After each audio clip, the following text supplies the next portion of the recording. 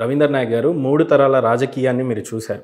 ఒకప్పుడు ఇందిరాగాంధీని చూశారు రాజీవ్ గాంధీని చూశారు తర్వాత ఇప్పుడు సోనియా గాంధీని చూస్తున్నారు ఈ మధ్య కాలంలో రాహుల్ గాంధీ గారు కూడా వచ్చారు. ఇటుపక్క చూస్తే కంటిన్యూస్గా కేసీఆర్ గారే ఉన్నారు అంతకుముందు రాజశేఖర రెడ్డి గారిని చూశారు అంతకుముందు చంద్రబాబు నాయుడు గారిని చూశారు. సో ఇటుపక్క చూస్తే రోజు రోజుకి బంజారా జాతి ఏదైతే వెనుకబడి ఉంది అని అట్టడుగున ఉంది అని చెప్పి ప్రతిసారి వీకర్ సెక్షన్గా ఉంది అని చెప్తున్నా కూడా ఈ రోజుల్లో పన్నెండు రిజర్వ్డ్ కాన్స్టిట్యున్సీ ముప్పై నుంచి నలభై స్థానాల్లో ఓట్ బ్యాంకు క్యాండిడేట్ని డిసైడ్ చేసే అంత స్థాయికి వచ్చింది.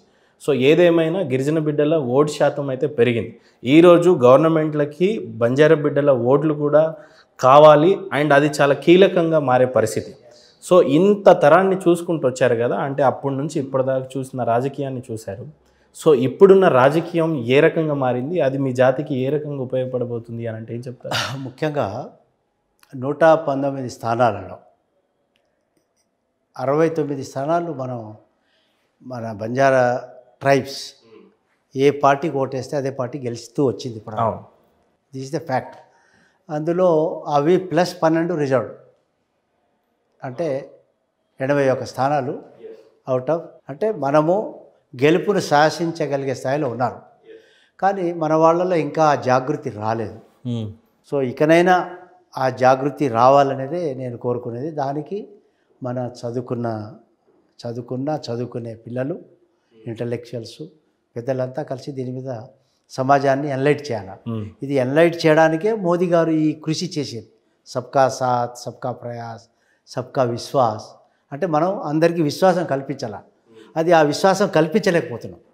విశ్వసించలేకపోతున్నారు మన నాయకుల్ని మన వాళ్ళే విశ్వసించలేకపోతున్నారు.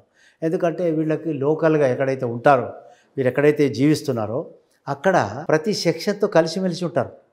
దో వాళ్ళ కల్చరు ట్రెడిషను భాష వేరున్నా కూడా అందరితో మరి స్నేహభావంతో ఉంటున్నారు. గొప్ప కమ్యూనిటీ. బంజారా కమ్యూనిటీ గిరిజన కమ్యూనిటీ గొప్ప కమ్యూనిటీ. ఆ కమ్యూనిటీ కమ్యూనిటీలో పుట్టడం నేను అదృష్టంగా భావిస్తున్నాను అది నాకు నిజంగా ఆ- విధమైనటువంటి కమ్యూనిటీలో ప్యూర్ కమ్యూనిటీ. కరెక్ట్ అన్న మీరు సో చెప్పిన కమ్యూనిటీ ఈ కమ్యూనిటీని ఇక ఇంతవరకు ఎక్స్ప్లైట్ చేసినారు. ఇక ముందు ఏ ప్రభుత్వం వచ్చినా వీళ్ళని ఎక్స్ప్లైట్ చేయలేరు. అందులో ముఖ్యంగా నేను బీజేపీ పార్టీ తరఫున చెప్పగలుగుతా. BJP BJP Ram Ram. Banjara అంటేనే రామ్ రామ్. సో కా కేవలం చెప్పడమే కాదు బీజేపీ చేసి చూపిస్తుంది. ఇది నేను గ్యారంటీగా చెప్పగలుగుతాను ఆన్ బిహాఫ్ ఆఫ్ పార్టీ. అక్కడ నాకు ఏదైనా అనుమానం వస్తే మాత్రం నేను I will retire from my politics. కానీ అటువంటి ఆస్కారం లేదు అక్కడ. అక్కడ మోదీ గారు కానివ్వండి నడ్డా గారు కానివ్వండి అదేవిధంగా మన హోమ్ మినిస్టర్ అమిత్ షా గారు కానివ్వండి ఇక్కడ బండి సంజయ్ గారు గారు కానివ్వండి మరి మన ఈటల రాజేందర్ గారు కానివ్వండి వీళ్ళంతా అరవింద్ గారు కానీ మన జా మన మన జాతి గురించి వీళ్ళకి ఏదైనా డెవలప్ చేయాలని ఒక ఒక దీంతో కాన్సెప్ట్తో ఉన్నారు. ఎవరి వాట వాళ్ళకి ఇవ్వాలనేది వీళ్ళ ధ్యేయం. ఎవరికి చెందవలసింది వాళ్ళకి చెందాలా?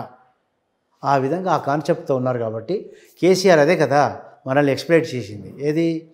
రెండు వేల పద్నాలుగులోనేమో పన్నెండు శాతం రిజర్వేషన్ అని చెప్పినాడు తాండా పంచాయతీలు అని చెప్పినాడు పోడు భూములు అని చెప్పి అప్పుడు వన్ సైడ్ వేసినారు మన వాళ్ళు.